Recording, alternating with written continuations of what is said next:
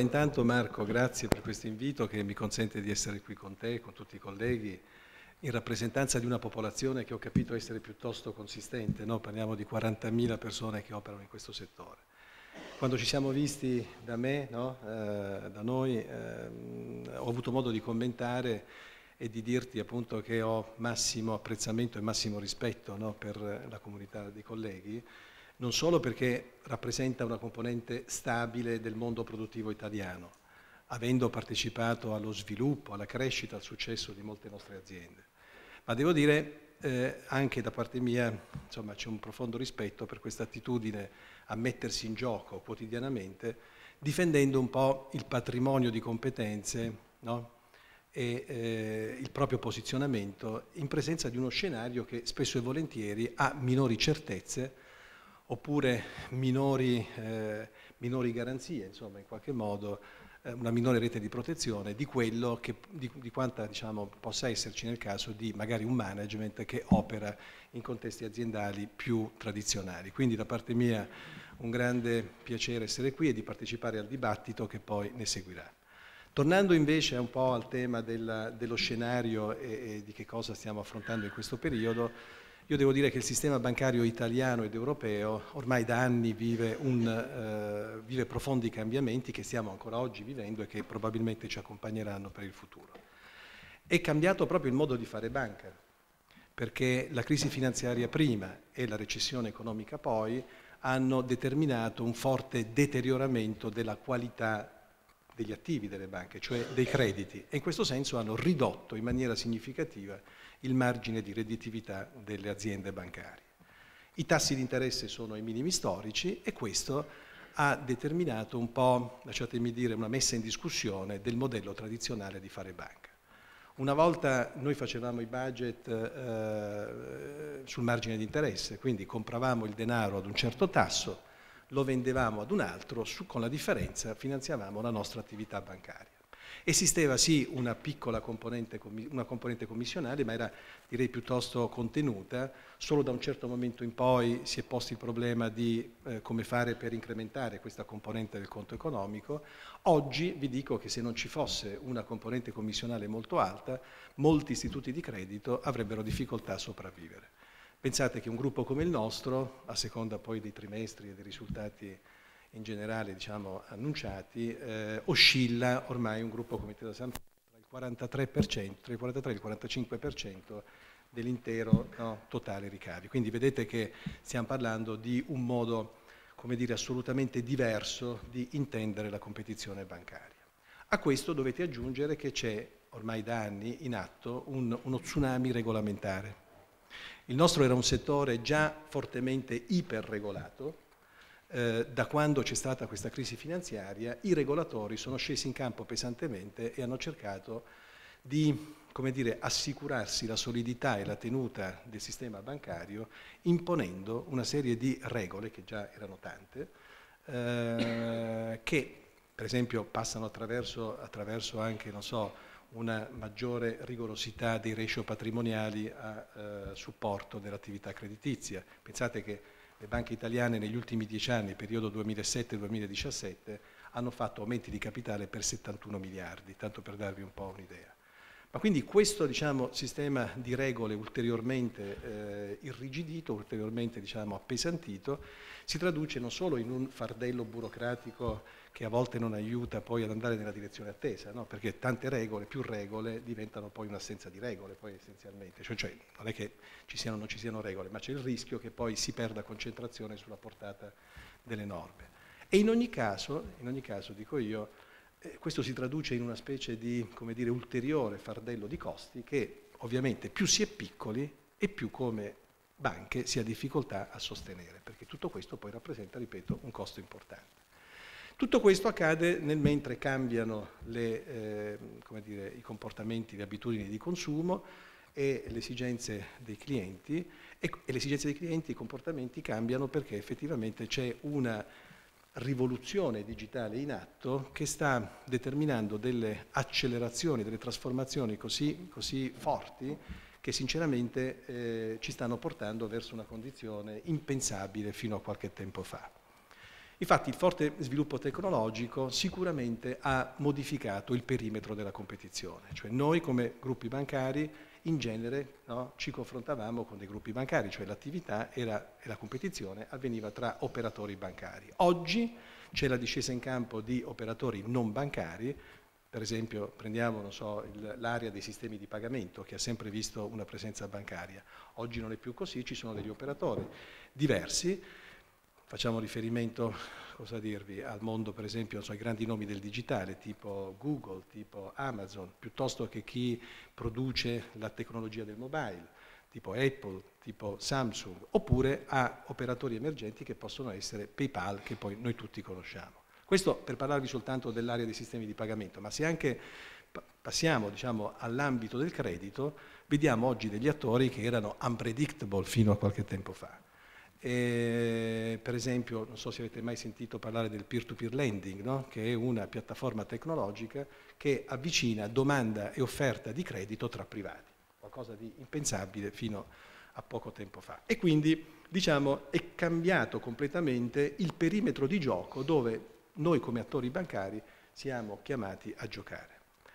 E questo una, tutto questo in un momento nel quale secondo me le banche devono anche recuperare un pezzo di immagine di reputazione dopo le note, e quindi anche se volete di, di, di, di, posizionamento complessivo, dopo le note vicende che hanno riguardato eh, alcuni istituti di credito. Ovviamente questo poi non sarà un tema del convegno di oggi, però insomma, sicuramente quello è stato un momento importante rispetto al quale l'immagine e la reputazione bancaria, diciamo, tutto sommato, ha subito un colpo per il quale oggi un tentativo di recupero importante va appunto sviluppato. Oltre naturalmente ad una componente invece più storico-culturale che è quella per la quale le banche continuano ad essere percepite come delle, degli apparati molto burocratici con una diciamo, complessità amministrativa straordinaria che, e quindi con un sistema di norme che pervade un po' tutto il rapporto con la clientela. Quindi diciamo tutto questo scenario in un momento nel quale le banche devono in qualche modo recuperare alcuni punti, devono recuperare un pezzo di immagine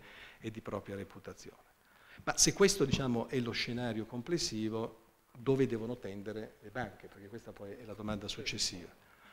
Secondo me, secondo noi, come gruppo, eh, le banche devono tendere intanto a investire pesantemente sui business ad alto valore aggiunto. Ho in mente per esempio tutto il filone della banca assurance, del, dell'asset management, del private banking, quindi di business dove è ancora importante una forte componente, lasciatemi dire, consulenziale, finanziaria ed esperienza professionale dell'operatore che ancora per fortuna la tecnologia, diciamo, no, la piattaforma tecnologica non è in grado di garantire no, nella, nella, forma con la quale appunto, una banca riesce a farlo. E sono tra l'altro dei business che appunto, eh, ti consentono un minore assorbimento di capitale, in alcuni casi addirittura un, un assorbimento zero di capitale. Tutti questi business che io vi sto appunto rappresentando. Noi per esempio come gruppo, faccio ora un po' di pubblicità alla, alla, banca di cui faccio parte, noi come gruppo per esempio abbiamo previsto come forte motore di crescita lo sviluppo del ramo danni non motor. No? Io credo che non tutti sappiano che in realtà Intesa San Paolo è già la prima realtà in Italia come ramo vita, quindi siamo già la prima assicurazione, come dire, del paese e questi sono dati che evidentemente non, spesso, non sempre sono conosciuti, ma vogliamo diventare anche eh, tra i primi 3-4 operatori del mercato con questo piano industriale e con il prossimo, perché no, scalare anche il vertice di questo ranking, quindi diventare la prima assicurazione in Italia come ramo danni non motor. Cosa si intende per ramo danni non motor?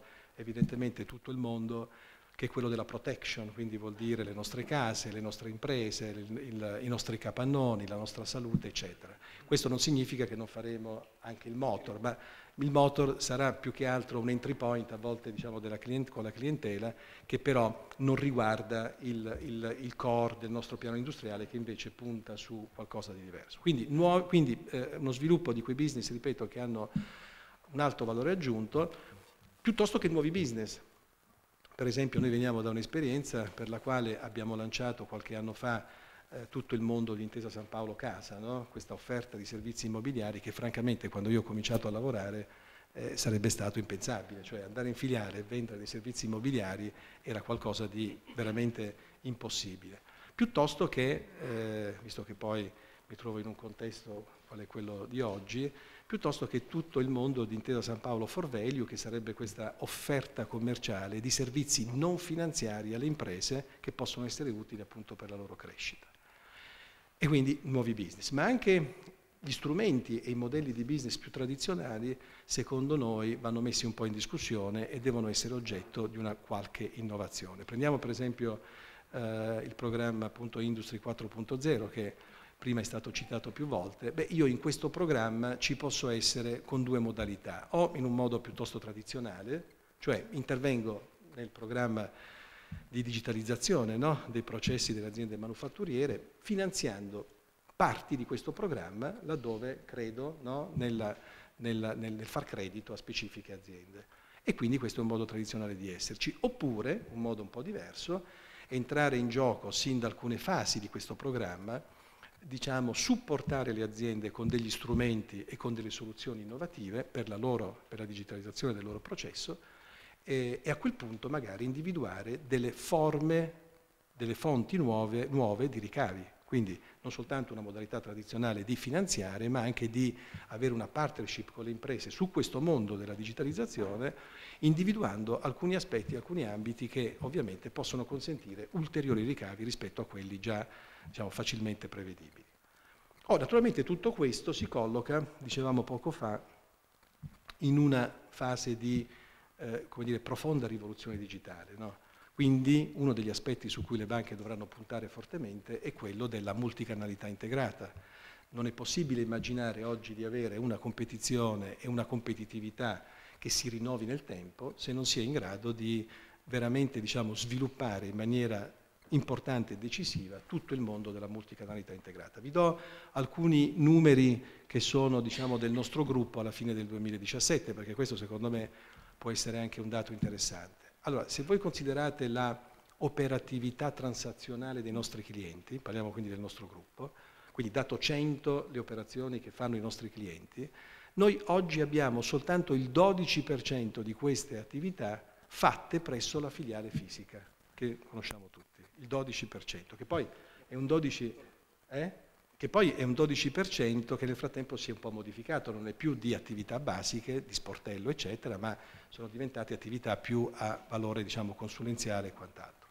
Il 56-57% è fatto attraverso i servizi ATM, che trovate non soltanto presso le filiali ma anche presso altre realtà, insomma, non necessariamente banche, e il 31-32% invece è garantito da da, da, da, internet banking e dalla nostra app, devo dire sempre più la app che è stata particolarmente apprezzata dalla clientela, addirittura con un raddoppio no, dei clienti che usano la app nel 2017, ormai oltre 2 milioni e mezzo di nostri clienti fa operazioni transazionali attraverso la, la banca in tasca, quindi attraverso diciamo, il mobile. Il tutto in un quadro per cui il 60% dei nostri clienti utilizza almeno un canale digitale. Quindi vedete che stiamo parlando di un mondo pazzescamente, pazzescamente modificato rispetto a... Tolgo ancora pochi minuti soltanto perché a questo allora io aggiungerei per chiudere un po' questo intervento ehm, che cosa devono fare quindi le banche per supportare questa strategia. Beh, intanto devono avere i conti in ordine e devono focalizzarsi anche su una razionalizzazione dei costi e un contenimento dei costi. Però attenzione, io non voglio parlare del contenimento dei costi come una leva stand alone, cioè molti illustri miei predecessori dicevano ma insomma, siccome i ricavi sono incerti e i costi sono certi, io intanto taglio i costi, poi facciamo presto, no? Alessandra sorride perché abbiamo avuto lunghi anni passati insieme, no? tanti anni passati insieme, ma eh, il problema era questo, io, i ricavi sono incerti, i costi sono certi, quindi io intanto taglio i costi e poi se i ricavi arriveranno sarò sempre in grado di alzare questa asticella di qualche cosa. No? Se invece non dovessero arrivare, a quel punto... Bene, il problema è che a furia di, parlare, di, di, di ragionare in questa maniera, eh, i ricavi non arriveranno probabilmente mai, perché, insomma, perché, a furia di avere i conti in ordine probabilmente non si investe in sviluppo, non si investe diciamo, in, in crescita. Invece io voglio parlare di questa cosa qui come di una leva fondamentale per poter invece liberare quelle risorse economiche che sono fondamentali per poter investire, per poter fare investimenti e quindi investire sia su nuovi business sia sulla crescita appunto delle nostre aziende. Questo è fondamentale. Noi per esempio come gruppo nel periodo di impresa che va dal 2018 al 2021 eh, abbiamo previsto 5,8 miliardi di investimenti, di cui 2 miliardi e 8, 2 miliardi e 8 eh, dedicati appunto al completamento della trasformazione digitale in atto. Vedete che sono cifre diciamo, importanti, poi se andiamo a vedere Amazon, Amazon magari investe molto di più, ma noi facciamo quello che possiamo, a cui poi tra l'altro dovete aggiungere un miliardo circa sulla formazione, tanto per... Quindi un contenimento dei costi non come, come leva stand alone, ma come una delle leve per poter arrivare ad una crescita delle nostre banche. Ovviamente per fare questo eh, diciamo, si dovrà passare anche attraverso un momento di ripensamento delle nostre organizzazioni, quindi dovremo sempre più puntare, puntare a delle lean organizations, per, perché questo è importante per migliorare l'efficacia e la velocità di risposta verso i clienti. Dovremo inserire nelle nostre aziende delle professionalità, delle skills un po' diverse e più in linea con il mondo che stiamo vivendo per formare, sviluppare, acquisire. Insomma, io ho in mente, non so, figure come, come il data scientist piuttosto che il data quality manager, il web designer.